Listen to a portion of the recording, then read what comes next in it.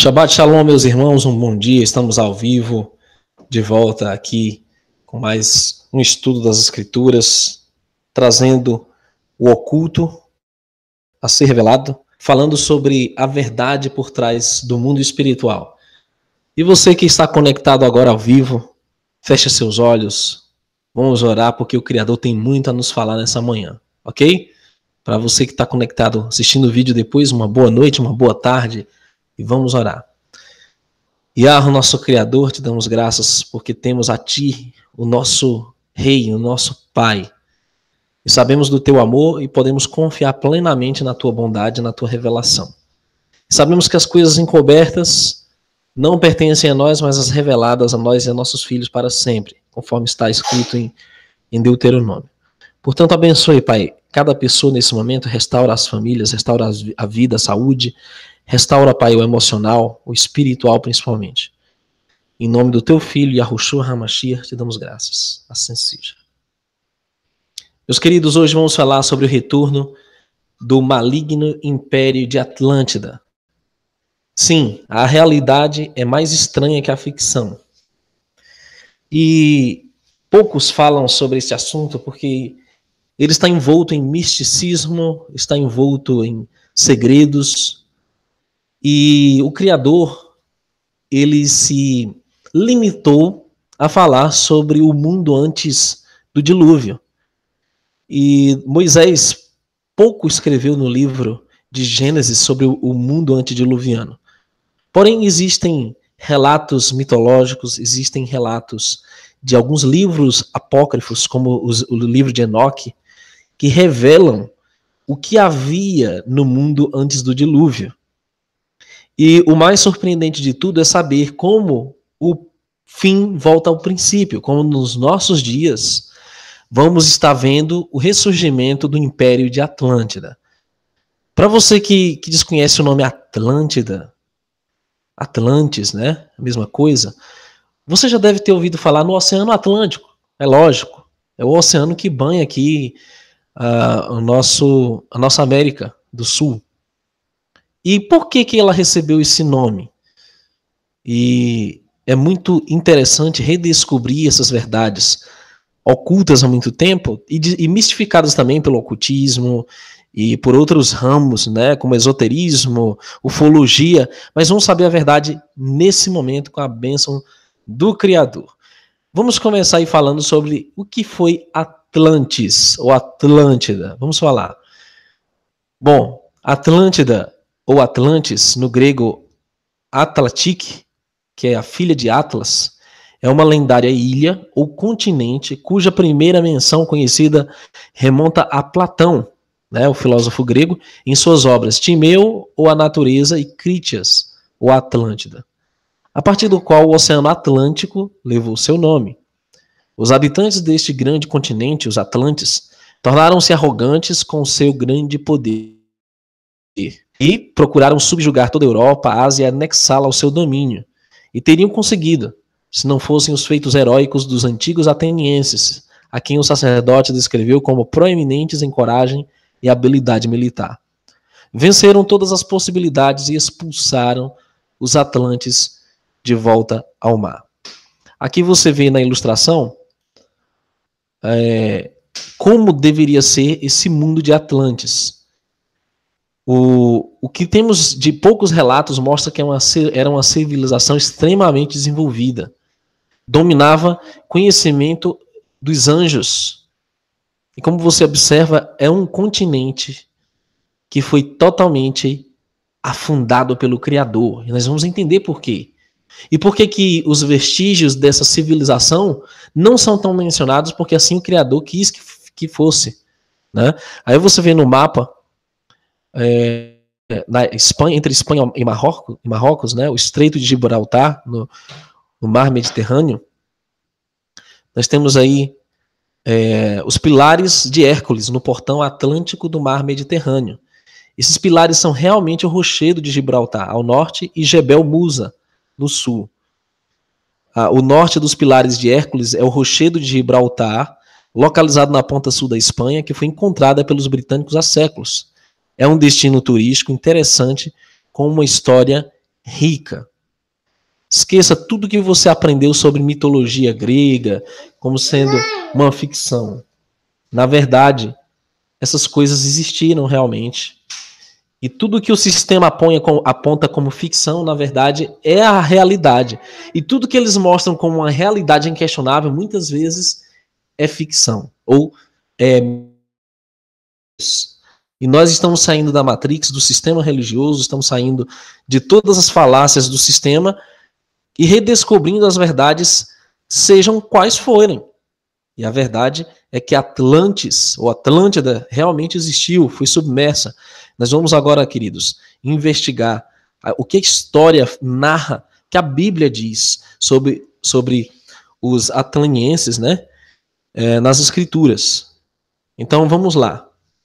É muito interessante observar que muitas dessas obras, esses contos míticos, que, que são tidos como lendas registradas na, na nossa história, e um em especial, todos os outros em grandeza e valor. Porque essas histórias falam de um grande poder que fez uma expedição para lutar contra toda a Europa e Ásia, e por fim as suas cidades. Este poderio saiu do Oceano Atlântico, pois naqueles dias o Atlântico já era navegável e havia uma ilha situada em frente aos estreitos, chamados de os Pilares de Hércules. Então, aí, como já demonstramos na ilustração, era por aí, né, aquele lado, lado esquerdo, que havia é, a ilha de Atlântida, o continente de Atlântida, e próximo aos Pilares de Hércules, né, entre o continente da Espanha e da África. Ok? Então, vamos lá. Vamos lá, saber mais sobre esse lugar. Aí, nesta ilha de Atlântida, havia um grande e maravilhoso império que governou em toda a ilha e vários outros, e as maiores partes do continente. Além disso, os homens de Atlântida dominaram as partes da Líbia, tanto quanto o Egito, Europa, tanto quanto Tirrênia. Com todo esse vasto poder reunidos em um só, tentaram subjugar com um só golpe o país, né, a Grécia, e toda a região dentro do estreito então Solon, Vosso país, vosso país brilhou na excelência de sua virtude e força entre toda a humanidade. Ela teve, após uh, ter sido submersa a extremo perigo, derrotou e triunfou sobre os invasores, livrando da escravidão aqueles que ainda não tinham sido subjugados, e generosamente libertou todo o restante que, a, que habitava dentro dos pilares.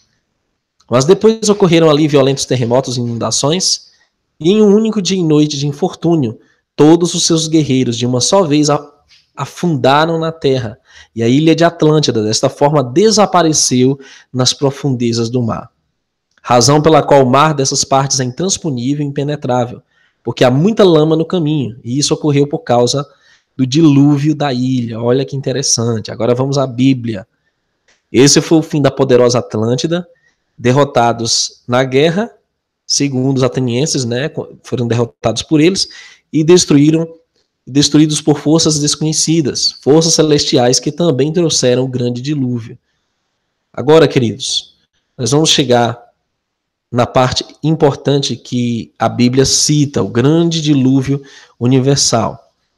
Para os céticos que não creem na Bíblia, é importante considerar que esse dilúvio ele é relatado não só pela Bíblia, mas por todas as culturas mundiais se cita o dilúvio universal que destruiu toda a terra.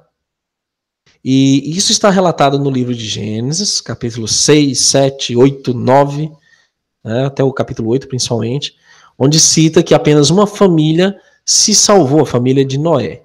Ok?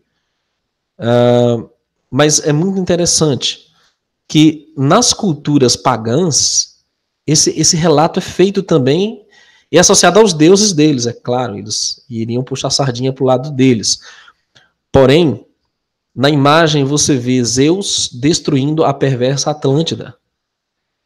Depois do dilúvio, a Atlântida estava afundada e destruída a centenas de metros abaixo da superfície do oceano, cujo nome, hoje, é o Oceano Atlântico. Ela ainda é lembrada. Querendo ou não, toda a vida na Terra morreu como resultado dessa inundação. supondo que foi o grande dilúvio bíblico que afundou a Atlântida e não alguma outra inundação menor. É claro que, como resultado, toda a vida em Atlântida foi completamente destruída. Mas por que Atlântida foi destruída? Foi arrogância contra os deuses ou contra o Criador, sua queda? Foi arrogância por terem esse poderio mencionado por Solon que provocou sua destruição? Foi juízo divino? Ou como? Porque os atlantes não conseguiram administrar um nível de poder e força além de sua compreensão, causando sua própria destruição? Talvez fosse uma combinação de todos esses motivos, ou talvez tenha sido algo mais ainda sinistro. O motivo pelo qual o dilúvio foi enviado para apagar da memória humana e para nos salvar de algo que ao homem não era lícito conhecer. Agora nós chegamos na parte importante desse estudo. Se o Criador tentou é, aniquilar toda aquela civilização antiga, ele tinha um motivo para isso. E é importante considerar que o fim volta ao princípio. Como assim? Eclesiastes 1:9, capítulo 3, verso 15 diz que que não há nada novo debaixo do sol, que foi e será, e que o Criador requer o, o passado, ele pede contas do que passou. A Bíblia diz que os dias em que estamos vivendo são como os dias de Noé, ou Noah.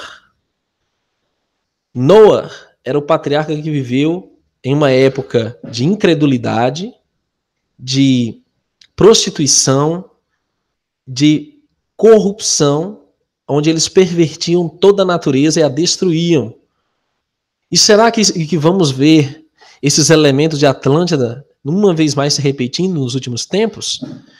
Olha que interessante essa imagem aqui que eu tenho é, de uma cidade nos Emirados Árabes. Veja só que interessante essa imagem. Essa imagem remonta a Atlantis. E o homem parece estar querendo ressurgir o poder de Atlantis. Todo o conhecimento oculto que eles possuíam, toda a forma de governo, a sistemática que eles tinham, está, está voltando novamente. Nós chamamos isso de nova ordem mundial. Nós vamos entender as implicações do ressurgimento do Império de Atlantis, ok? Então vamos falar um pouco sobre o que a Bíblia relata sobre esse tempo, o que o livro de Enoque relata também, ok? É, naqueles dias havia, algumas versões dizem, gigantes na terra, ou Nephilim, e também posteriormente, quando os filhos de Deus possuíram as filhas dos homens e elas lhe deram filhos. Estes foram os heróis do passado, homens famosos. E Yahweh, o Criador, viu que a perversidade do homem tinha aumentado na terra e que toda a inclinação dos pensamentos de seu coração era sempre e somente para o mal. Gênesis 6, verso 4 a 5. Agora abra sua Bíblia aí. Porque aqui no original não são é, esses filhos de Deus aqui, não são os Binei Adam, que são os humanos. O termo hebraico para humano, é, filhos de homens, é Binei Adam. Mas o termo hebraico para anjos é os Binei Elohim, ou seja, os filhos do Criador. Então, qualquer investigação, mais simples que seja teológica do contexto de Gênesis 6, vai demonstrar, vai comprovar que o Gênesis está realmente falando de anjos que foram gerados por mulheres humanas. Isso é incrível. Porque frequentemente, até na teologia, se aprende errado essa questão. E isso revela um paradigma muito importante que vai se repetir nos últimos tempos. Então vamos lá. A terra corrompia-se diante do Criador e enchia-se de violência.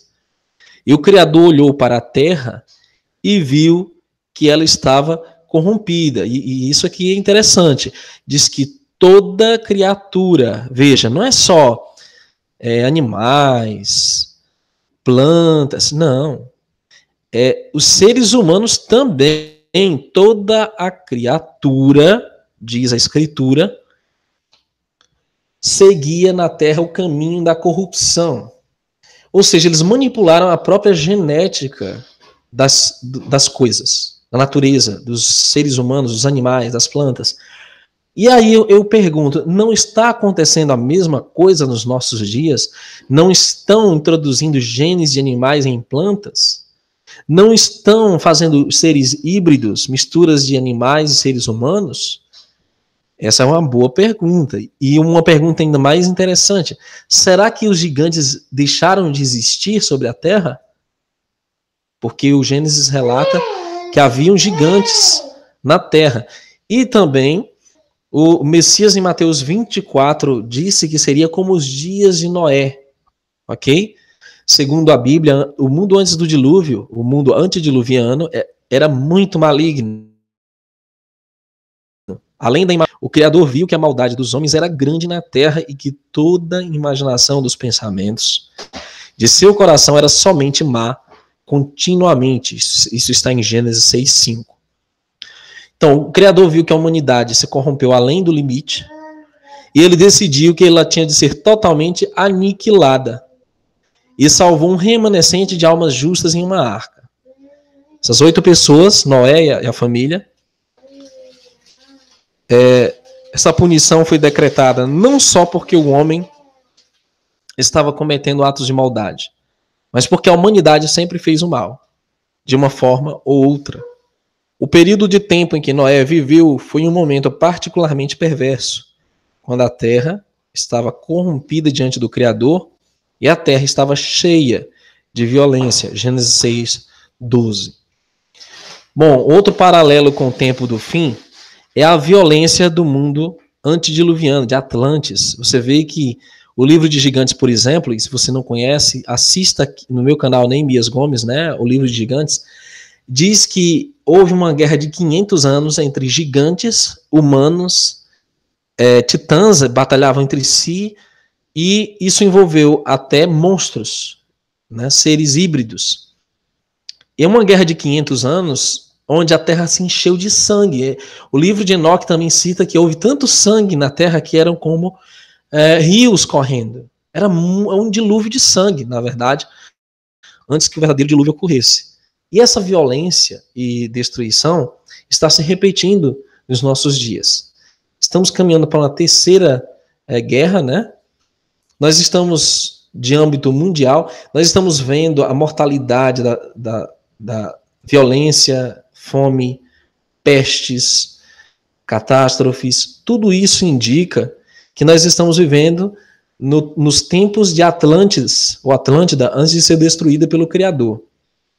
E não se engane, Atlântida era uma civilização muito mais avançada do que hoje. É, cita alguns livros aí que em Atlântida eles tinham máquinas voadoras, teletransporte, eles conseguiam manipular eletricidade, magnetismo, tinham magia, feitiçaria, e o livro de Enoque também é, dá mais detalhes sobre o que eles aprontavam naqueles tempos, né? E, e diz que no livro, no livro de uh, Elish, Enuma Elish, é um livro do mito babilônico da criação, corresponde ao relato do Gênesis. E, no entanto, embora os pensamentos da humanidade fossem continuamente malignos, ou seja, se os, os homens não estivessem praticando mal, não estavam pensando em fazê-lo. Perdão, eles estavam pensando em fazê-lo. E embora os estivessem constantemente em guerra contra seus vizinhos, destruindo e corrompendo a terra, de longe, a parte mais sinistra dessa equação foi o fato de que a humanidade aparentemente estava sendo geneticamente alterada por seres divinos, a fim de criarem uma raça de gigantes conhecidas conhecida por Nephilims. E você sabia que existe um programa de hibridismo acontecendo? Existem até propagandas, né, sobre seres híbridos ou seja, o ser humano com, com características animais, de animais e plantas, modificados geneticamente, sem falar na parte do transhumanismo, que é o quê? É juntar o homem, o ser humano, à tecnologia, criar um ser biônico. Seria um, um termo mais assim fácil de ilustrar. E isso está acontecendo, gente. Nós estamos vendo, vivendo num tempo onde as vacinas, os rastros químicos no céu, onde a própria comida que nós ingerimos está geneticamente modificada, e só o Criador sabe o que vai acontecer daqui a um, um tempo, os resultados desse tipo de manipulação genética. E era isso que viviam os, os, uh, o povo de Atlântida, né? Vamos lá. O livro de Enoque cita que Azazel levou os anjos rebeldes para a terra, onde, né, no livro de Gênesis capítulo 6, contém essa passagem estranha, que sempre foi uma fonte de desconforto e polêmica para os estudiosos bíblicos. Suas inferências ficam restritas ao debate fechado. É um assunto relegado a círculos informais e abafado nas discussões da igreja e principalmente em escolas dominicais, reuniões, cultos, sempre está de fora da esfera dos cursos acadêmicos. Nesta passagem bíblica, é descrito algo totalmente fora do comum, uma história de acontecimentos e personagens que até hoje são negados e denegridos por uma linha de pensamento errônea. Ou tidas como interpretações de fanáticos super imaginativos. Aí dizem alguns que é, não, isso não é possível, isso é muito mirabolante, isso é fantasia. Não, queridos, na verdade é perfeitamente possível imaginar que o mundo antes do dilúvio realmente fosse um lugar avançado, complexo, por isso que o Criador destruiu. Vamos lá. Quando os homens começaram a multiplicar-se sobre a terra, a eles nasceram filhas, os filhos de Elohim, nós sabemos que são os anjos, viram que as filhas dos homens eram belas e escolheram esposas entre elas. Então, Yahweh, o Criador, disse: Meu espírito não permanecerá para sempre no homem, porque todo ele é carne, e a duração de sua vida será de 120 anos.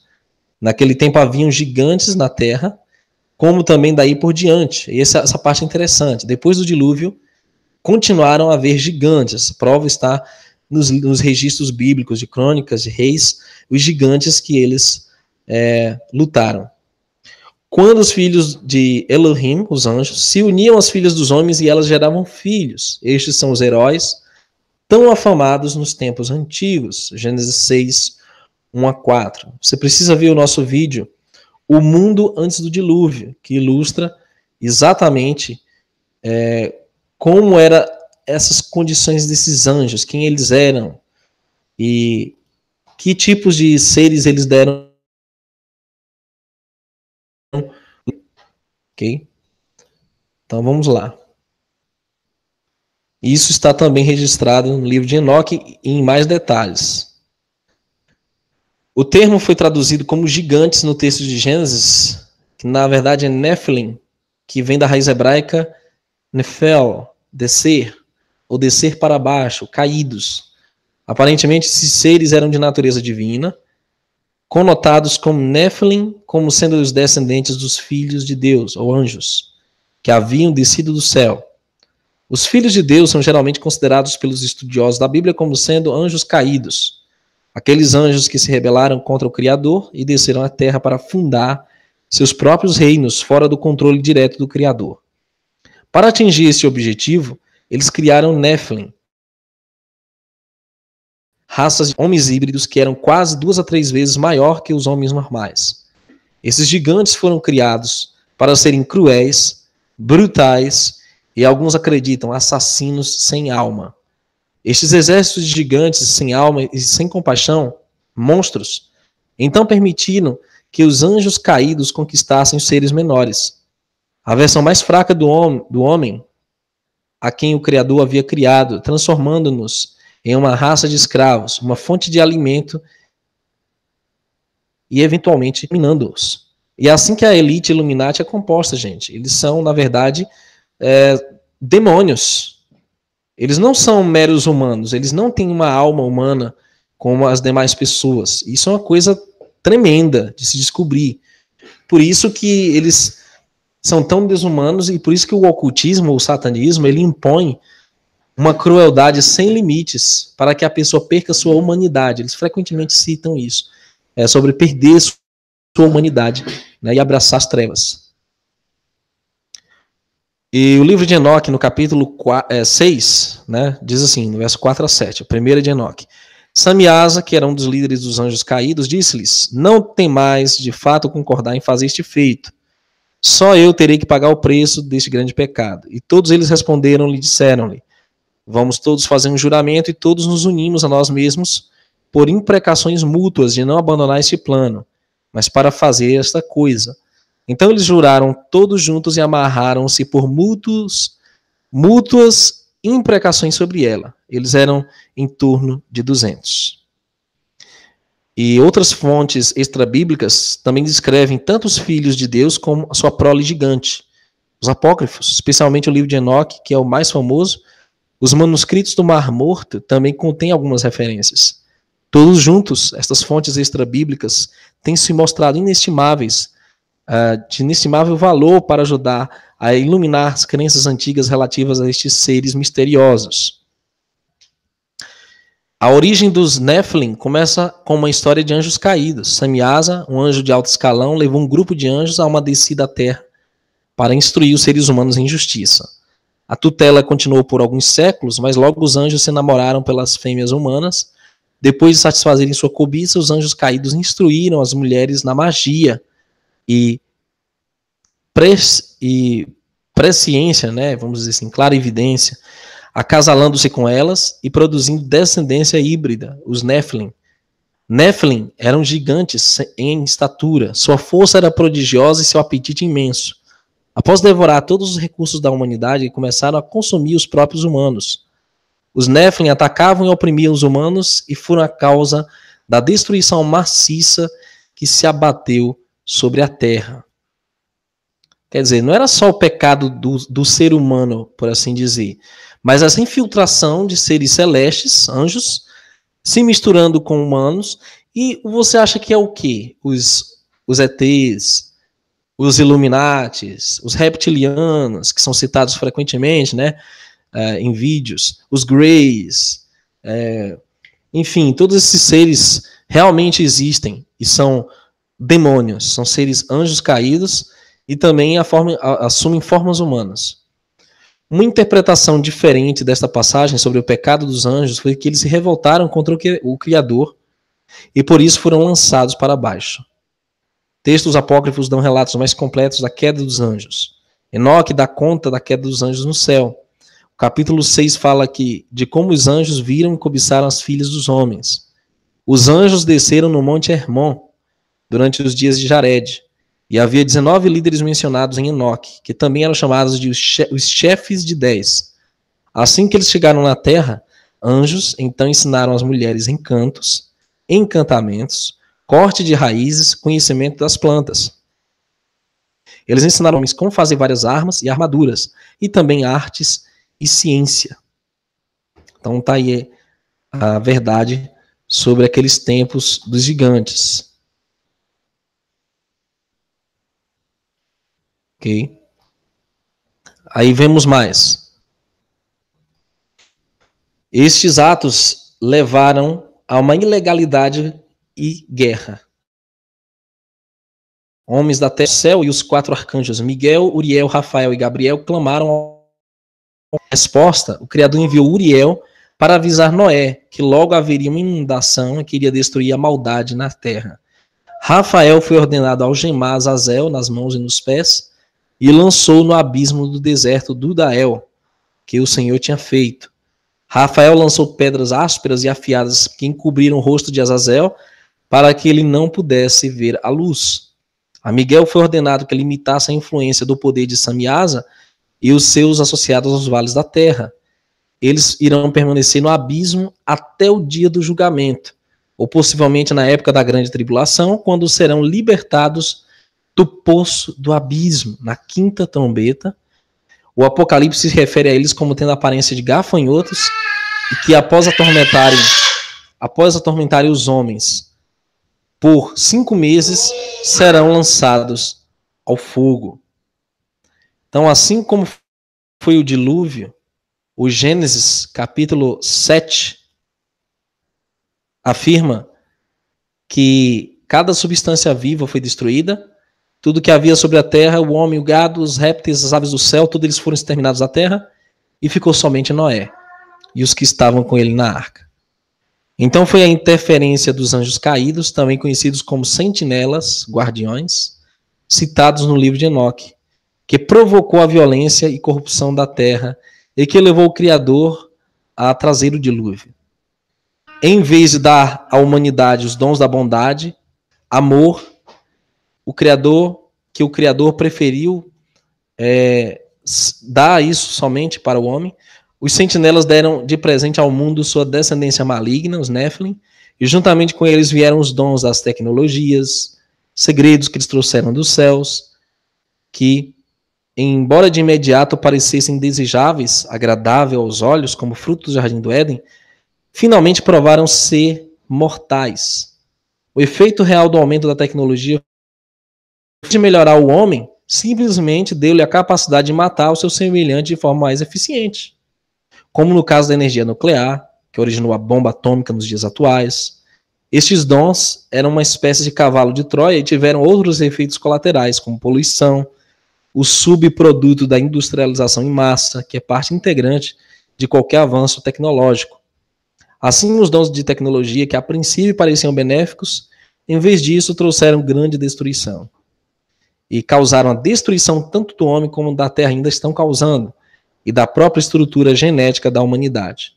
Qualquer que seja a presença de organismos alienígenas, estranhos à nossa natureza e o que ela represente, seu objetivo é o recolhimento de DNA para o que parece ser um programa de melhoramento, seguido por um programa de hibridização, ou seja, mistura de humano com outros genes, né? E finalmente um programa de integração, que foi exatamente o que os sentinelas fizeram com os Nephilim nas antigas eras tornando-se assim irremediavelmente corruptos, tanto espiritual quanto fisicamente. Portanto, a fim de salvar a Terra, a humanidade tornou-se irremediavelmente corrompida com a genética satânica que o Criador decidiu que o mundo antediluviano deveria ser destruído. E ele enviou o dilúvio para limpar a terra dos vigilantes ou dos sentinelas. Bom, queridos, é, os últimos tempos estão aqui. Nós estamos vendo o aumento da ciência, da tecnologia. Alguns engrandecem a ciência como sendo algo sempre proveitoso e positivo. Mas, na verdade, a ciência está contra o Criador. Eles querem, como a NASA, incutir uma ideia de que o nosso universo é governado por extraterrestres. E toda a, a infiltração e aparecimento de seres são aliens de outro mundo que, que vêm de todo lugar, menos da Terra, ou do abismo, conforme aprendemos aqui nas Escrituras. Então, a NASA, a ciência moderna, tem um único objetivo: ressurgir Atlantis, ou Atlântida. O objetivo deles é corromper a humanidade, corromper a Terra, de modo que ela seja aniquilada, que todo o ser humano original perca as, as características e a semelhança com o Criador. Por isso que nós pregamos a saída do sistema. Um corte radical de todos os laços com, com o sistema pseudocientífico, o sistema econômico atual, né, que será dado ao anti-messias, um, um, um, desligamento total da nova ordem mundial, que é, na verdade, uma Atlântida ressurgida, um império, o amado império de Satã, que vai ressurgir novamente na pessoa do seu filho, o anticristo. Que, com certeza, hoje eu não tenho mais dúvida, o anticristo não é um ser humano comum, ele é um ser híbrido. Ele é um meio demônio, meio humano, né? Sem falar que o intento de Satã é realmente assumir a Terra. Né? Ele ainda pretende corromper a criação para tomá-la do Criador, mas bendito seja o Criador, o Criador já venceu. Satã já está derrotado, né? O Messias está voltando para resgatar o seu povo e vai aniquilar as obras de Satã. Por isso que o Messias contou na parábola que ele veio fazer desfazer as obras do diabo. Ele veio salvar o que se havia perdido. E muito poucas pessoas têm noção dessas verdades, porque o sistema não permite.